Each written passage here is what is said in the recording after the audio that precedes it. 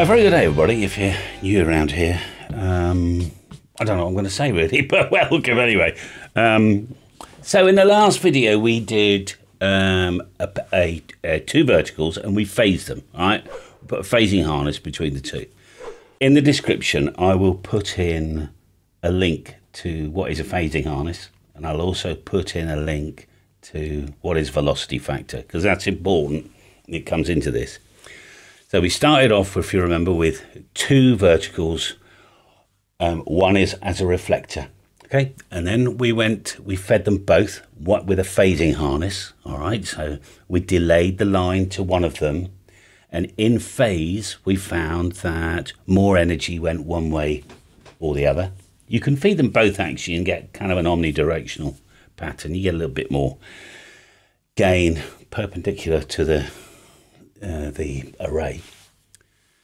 And then I happen to say, what happens if you did three verticals? So I've, I've got it on here. Now, John Gendron has built me a three element phased array, control box, relays, the whole nine yards, okay?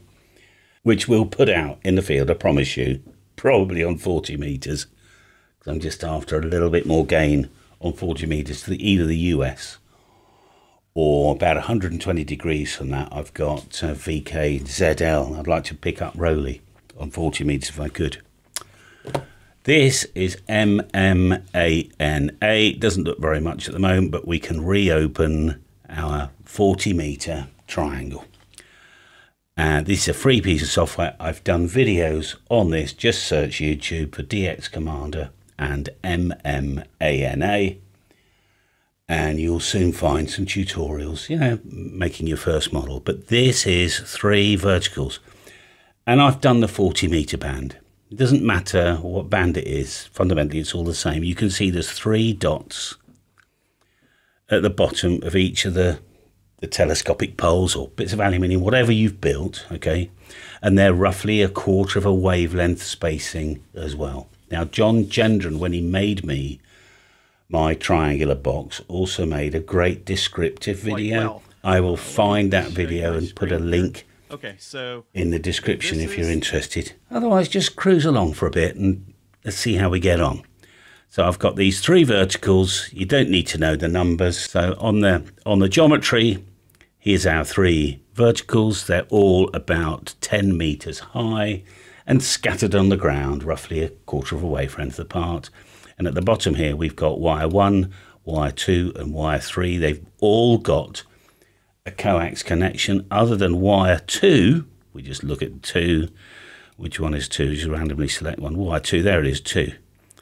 Number 2 here has got... In fact, we'll change it over. I think we'll have it as wire 3 to start with. Zero. We've got the phasing harness. Now, you can do 45 degrees, 50 degrees, 60 degrees, 75 degrees. John and I've talked about this. 60 on the math seems about right. But again, you'd need to look at those two videos to understand that phasing line if you wanted to do this yourself. Because fundamentally, all we've got here is three, I'll go here, is three verticals, one, two, and three. We've come up on our coax here. We've split the feed and we've put one coax there one coax to there and one coax to this one here. And all we're doing is we're switching in an extra, let's say we're coming down here, we're going to switch in a bit of an extra coax on a relay and it's 60 degrees worth. Okay? Whatever. Right. So let's just see what that does. Calculate, start. Hopefully I've got this right. And here we are. Now on the last model we were shooting left. This one's shooting right. It doesn't matter. I can force this down to a five degree elevation. And If you remember, I like five degrees as a baseline to understand how an antenna is working at very low angles. Because it's easy to convince ourselves that at 20%, uh, it's easy to convince ourselves that 20 degrees, for instance, off the horizon, it's working great. But yeah, how good is it working really low down? So I'm just using five degrees as a baseline here. So I forced this pattern here, looking down on the antenna, if we could, at five degrees slice, it's giving us zero minus 0.3, almost 0 dB. Doesn't matter, it says minus, it's irrelevant.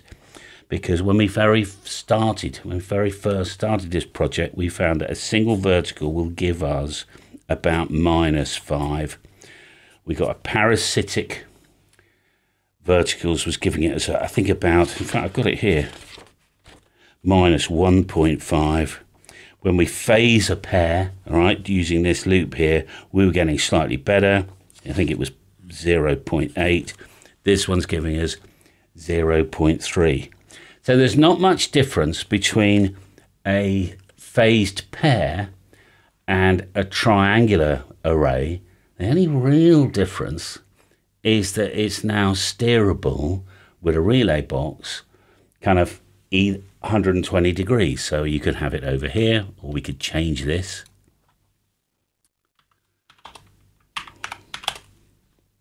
By putting the phase line somewhere else, we were just pointing over to the right. Now we're putting south, pointing southwest, and uh, I, I could, I could show you the minus the the three dB beam width, but basically you've got all points of the compass on three you know, obviously the most gain is is around here somewhere, but minus three, so that's telling us what does minus three mean? So minus three, our best gain here is at 120 degrees.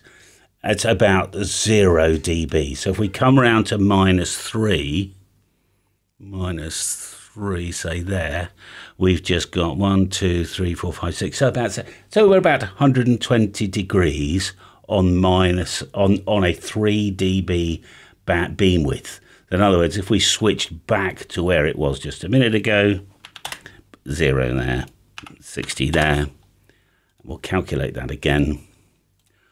We'll see that our 3 dB beam width now is saying 5 degrees off the horizon.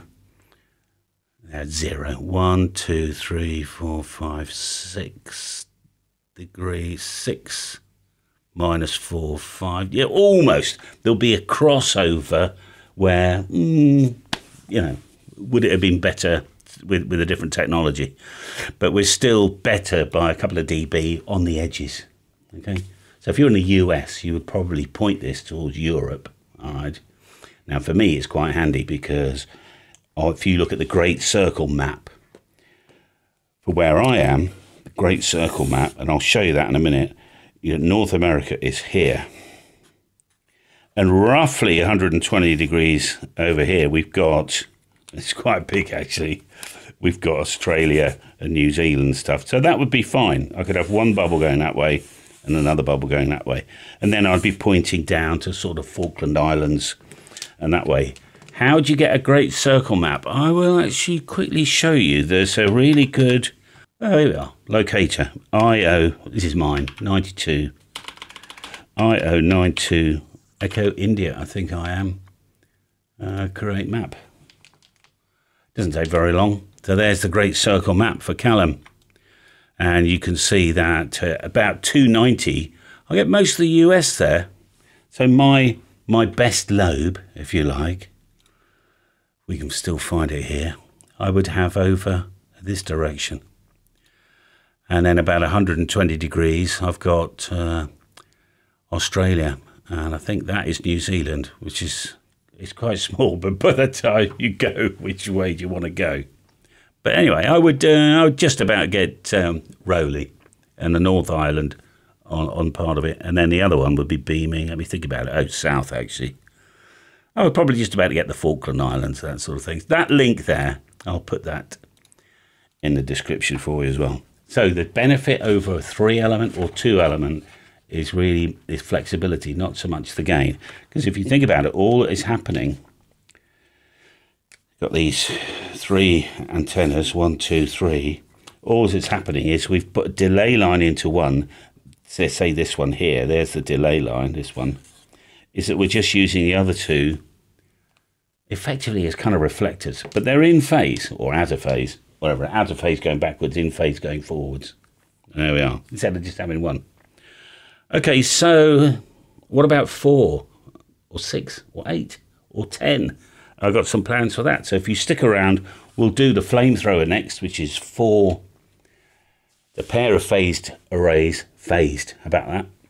Um, and then we can build that up to eight. And uh, John Gendron has actually just sent me a broadside 10 meter, I think it's a 10 element vertical beam. I've never heard it before. But we'll see if we can model that and see if we can get some understanding as well. So we'll be building this triangle in the field, see how it goes. So stay subscribed, bookmark the channel, whatever you need to do to, you know, to hang on to that one and uh, and see how I get on because we remote control from here quite often, don't we? If you've um, been part of the channel before, you know, you operate my ham radio station, which is about five miles away. We'll do that from here. All right, so next one we'll do is the flamethrower, the four. All right, I think you'll you'll like that. We can build it into a six as well, actually, if you like. Okay, next video is here. Got a playlist down there. Next video's here. Got a playlist down there. Have a lovely day. Okay, so uh, video here. Right then, we got another video here. You, can see what's up going on. what is that? It's another blood. I got a playlist here, and I've got no, I haven't. oh, whatever. You got the idea.